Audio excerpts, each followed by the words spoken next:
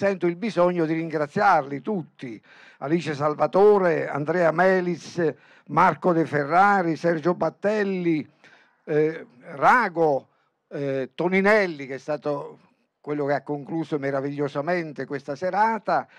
E poi ringrazio l'organizzatrice, una delle organizzatrici, Cristina, che mi ha eh, invitato, mi ha consentito di venire qui in questa splendida città che amo moltissimo, come amo tutta la Liguria.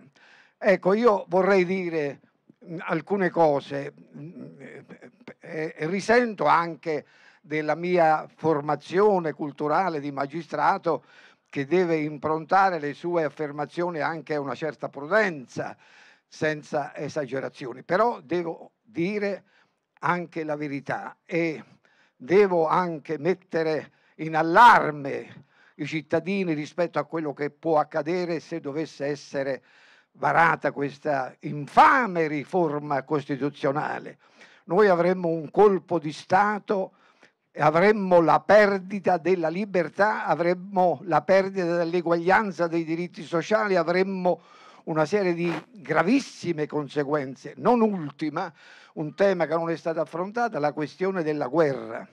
Uno degli articoli che si vuole cambiare è l'articolo 78, che prevede oggi, prima della riforma, che la dichiarazione di guerra debba essere fatta congiuntamente da Camera e Senato. Invece che sono, sono arrivati, è arrivato Renzi, che ha deciso, perché è lui che ha fatto, fatto la, la, la, riforma è stata fatta da, eh, non da Napolitano, ma quelli che sono gli ispiratori di Napolitano, poi vedremo chi sono questi ispiratori, eh, hanno cambiato questo articolo 78 che prevede che sia solo la Camera dei Deputati a dichiarare la guerra. Ora, che c'entra questa storia con la riforma costituzionale? Non c'entra niente, perché c'è una precisa volontà di attribuire al Presidente del Consiglio la possibilità di dichiarare una guerra, perché stanno preparando una guerra preventiva contro l'Iran e contro la Russia, perché c'è un governo mondiale invisibile che esiste e che eh, comprende anche i, questi vari eh, gruppi, gruppo Bilderberg, gruppo, questi gruppi bancari che sono stati qui citati, i quali vogliono stravolgere la nostra Costituzione per portarla al presidenzialismo, per fare in modo che questo gruppo mondiale, questo governo mondiale invisibile che controlla il Parlamento europeo attraverso i presidenti del Parlamento europeo come Barroso che è iscritto al gruppo Bilderberg e che è stato attaccato anche dai giornali di Lisbona mm, un mese fa quando io sono stato a Lisbona e purtroppo anche il Prodi fa parte del gruppo Bilderberg, noi insomma siamo nelle mani di gruppi che vogliono eh, uccidere la nostra sovranità e la nostra democrazia. Queste sembrano cose campate in aria e sono realtà. Noi siamo in un momento molto delicato e molto difficile e io ho il dovere di allarmarmi e di dire le cose come stanno. Io sono stato richiesto l'onore immeritatamente di andare all'Università di New York fra pochi giorni per fare due conferenze sulla strategia della tensione mondiale e mi sono documentato su quello che sta accadendo in Europa, dove ci sono delle pressioni perché si faccia una guerra, un'altra guerra preventiva sbagliata contro l'Iran come è stata fatta contro l'Iraq. E questo è possibile anche attraverso il cambiamento dell'articolo 78 della Costituzione, di cui nessuno parla, a parte tutte le altre nefandezze che qui sono state illustrate prima di me. Ecco, allora io voglio dire che noi dobbiamo stare a balle quelle che dicono sul fatto che vogliono far risparmiare. Già è stato detto e io ho replicato attraverso un durissimo intervento che ho fatto sui media, sul, sul Facebook e su Twitter per dire che questo Presidente del Consiglio non si può permettere e ho richiamato l'attenzione di Mattarella sulla necessità che egli intervenga per correggere le menzogne che questo signore ogni giorno rifila al popolo italiano, perché non è possibile che questo dica delle cose che nessuno possa andare in televisione a smentirlo. Questa storia dei 50 e dei 500 milioni è una vergogna, ma ogni giorno lui dice delle bugie eh, che sono eh, assolutamente inaccettabili e che tendono a sviare il popolo italiano rispetto alle scelte che devono fare che sono importanti. Ora, in sostanza, che cosa dice questo Renzi? Dice noi vi facciamo risparmiare e abbiamo dimostrato che non c'è nessun risparmio perché, perché le cose che lui doveva fare per risparmiare i cittadini sono altre, sono la riduzione degli enti pubblici, delle società partecipate che costano 23 miliardi di euro all'anno, la, la, lotta alla corruzione che sono 70 miliardi di euro all'anno, la lotta all'evasione fiscale 150 miliardi di euro all'anno, sono cifre precise che vengono dalla Corte dei Conti e che dimostrano che noi non vogliamo come governo cambiare le cose. Facciamo finta di fare delle leggi, facciamo finta di fare delle leggi che eliminano la prescrizione, l'impunità dei corrotti e dei evasori fiscali. Poi alla fine non facciamo niente. Questa è una grande vergogna di questo, di questo governo e di questa maggioranza. Io ho affidato tutte le mie speranze al Movimento 5 Stelle, che secondo me è un grande movimento che sta agendo con grande intelligenza, anche se non ne faccio parte. E lo dico perché voglio invogliare anche quelli che non appartengono al Movimento 5 Stelle a incoraggiare questi ragazzi, perché hanno dimostrato fino a questo momento di avere anche una grande capacità professionale. Tutte le leggi che sono state fatte da questo governo e da questa maggioranza sono leggi che vanno contro l'eguaglianza dei diritti sociali, il Jobs Act che ha umiliato il lavoro, che considera il lavoro come una merce soggetta alla legge della domanda e dell'offerta. Noi abbiamo i lavoratori peggio pagati d'Europa, che lavorano più di tutti. In Germania e in Francia la eh, settimana lavorativa è di 35 ore, noi abbiamo una settimana lavorativa di 40 ore. Poi ancora, se il lavoratore viene licenziato illegittimamente, non può essere non può essere costretto il datore di lavoro a riassumere il lavoratore. Quindi i diritti del lavoratore sono completamente mortificati e umiliati. Abbiamo avuto la legge salvabanche.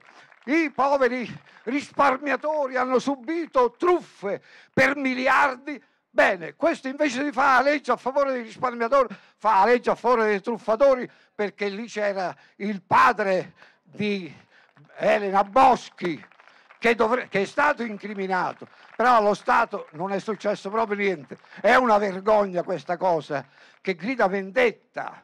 Altra legge infame è la legge IMU Banca Italia, 7 miliardi e mezzo alle banche private, a quelle banche che ci hanno costretto a entrare in Europa con l'euro, alla Goldman Sachs e altre banche che sono state condannate in America.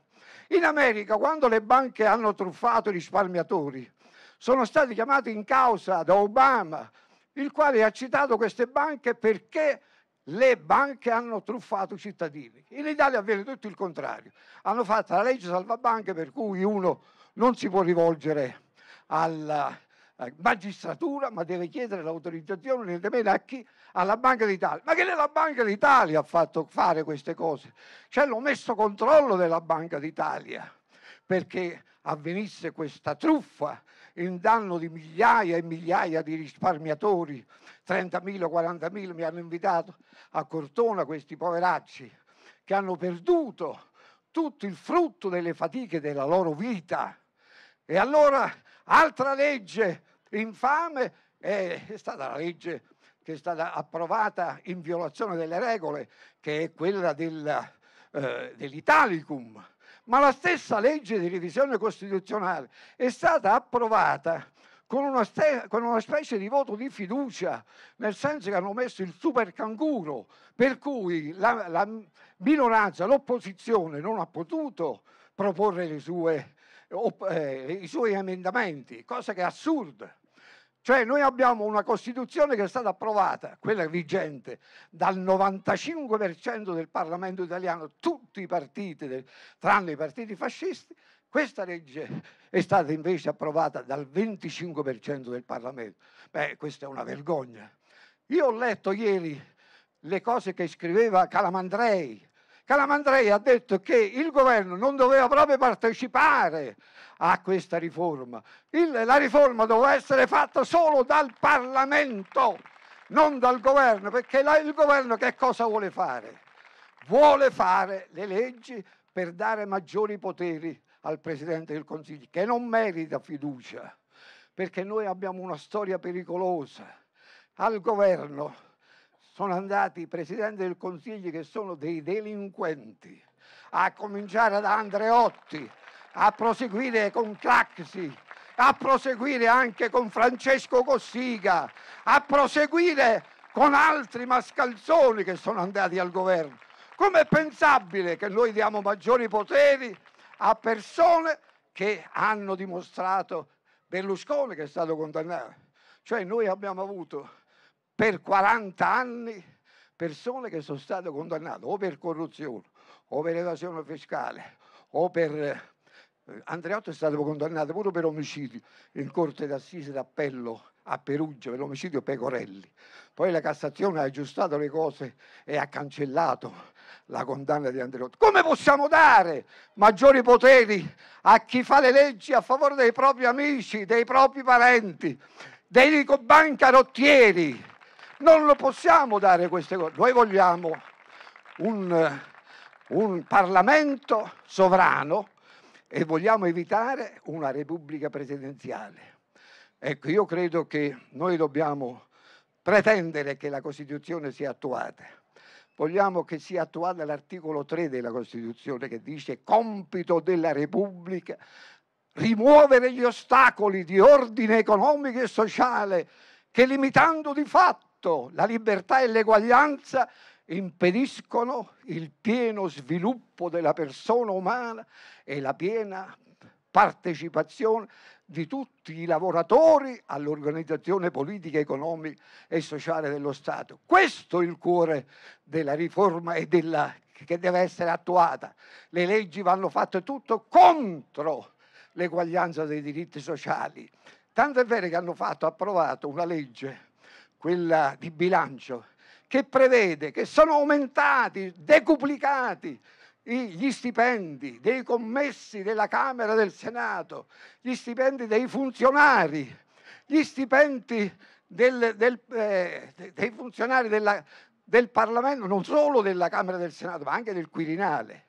Sono miliardi che vengono spesi e l'hanno inserito questa cosa, attenzione, nell'articolo 40 della Costituzione cioè hanno costituzionalizzato le diseguaglianze.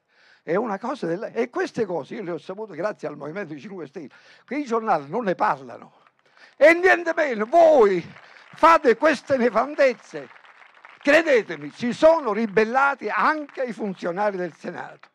Il funzionario del Senato è venuto da me, ha fatto, mi pare che c'eri quella, quella sera che hanno fatto eh, questo funzionario bravissimo, che si chiama Buon Anno, mi sembra, che ha organizzato, ha partecipato anche eh, Toninelli, un convegno in cui lui ha lamentato il fatto che siano attribuiti troppi privilegi ai funzionari del Senato e questo era un funzionario del Senato. Ora, queste cose di cui non parla né la radio, né la televisione, né i giornali, sono cose che fanno rabbrividire. Allora, io credo che noi non abbiamo bisogno di altre cose, cioè dire le nefandezze, i pericoli cui andiamo incontro, ripeto, anche col fatto che questa legge, questa riforma non si sa da chi è stata fatta. Quello che è sicuro è che non l'ha fatta Renzi, però lui, a lui è stata imposta, ma lui l'accetta. Lui dice che l'ha fatta, l'ha fatta eh, Napolitano, il peggiore, sono d'accordo. Però c'è anche c'è anche Cossiga che, che, fa una bella guerra con Napolitano, perché pure lui ha fatto delle cose durante la vicenda Moro, perché Moro è morto per effetto di un complotto vergognoso che è stato ordito dal potere politico perché venisse ucciso. E questo l'ho scritto in un libro e nessuno l'ha smentito, nessuno l'ha smentito. E allora avevamo questo grande statista. Se facciamo la storia della nostra Repubblica, noi avevamo tre grandi statisti.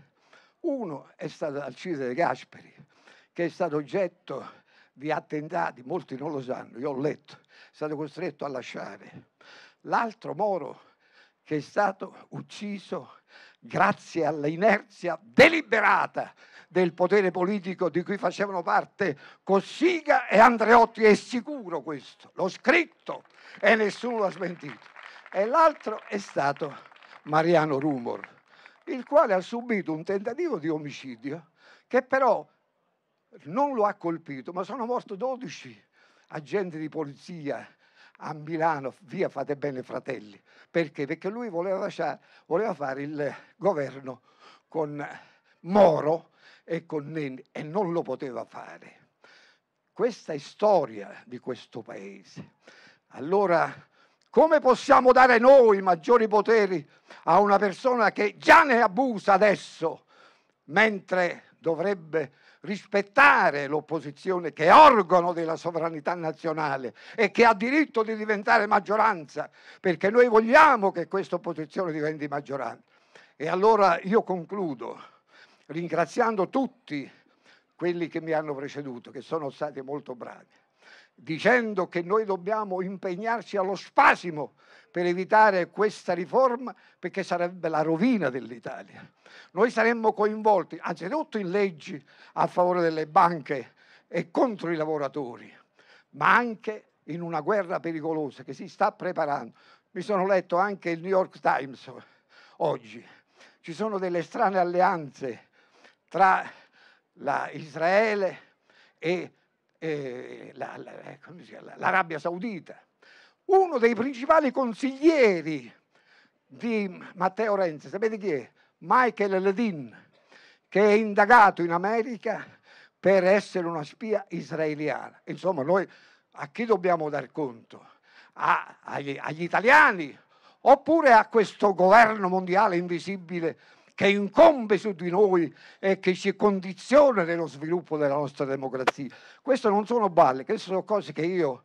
Qui c'è stata una, una riunione a Firenze nel 2005 alla quale hanno partecipato Renzi, poi c'era questo Michael Ledini che ha partecipato pure al complotto contro Moro perché era consigliere di Costiglia e c'era Richard Bell, i quali hanno detto l'ONU è un'associazione criminale internazionale, roba da pazzi. Si è ribellato anche niente meno che D'Alema che stava lì presente, che ha detto ma lei che sta dicendo? E quindi ha fatto bene D'Alema a quella volta, infatti l'ho scritto nel libro.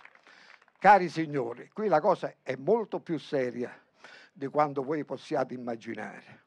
Io credo che voi già siate convinti, ma non basta, dobbiamo convincere tutti gli altri che sono disinteressati. Io resto sbalordito per le cose che ha detto anche Toninelli ed altri, cioè che gli altri non sanno il pericolo a cui vanno incontro. Questi sono degli avvocati che mi hanno scritto, dice io sarei per il sì, ma come sei pazzo? Mio fratello, oh ma sei pazzo? Insomma, qua bisogna informare le persone. E allora ecco che io vorrei concludere questa, eh, modesta, questo modesto contributo che ho dato con, ricordando che la Costituzione non è un arido elenco di articoli senza nome, è, è appunto è il testamento spirituale di 200.000 morti. Dietro ogni articolo della Costituzione ci sono dei giovani, giovani come voi, caduti, caduti combattendo, giovani che hanno dato la vita perché le parole giustizia e libertà venissero scritte nella Costituzione. E se qualcuno vi chiede dove è nata la Costituzione, dite andate sulle montagne, diceva Calamandrei, dove i partigiani sono stati fucilati, andate nelle campagne dove sono stati impiccati, andate nelle carceri dove sono stati torturati. Laddove è morto un italiano per riscattare la dignità del popolo italiano, andate lì col pensiero, giovani, perché lì è nata la nostra Costituzione. Grazie.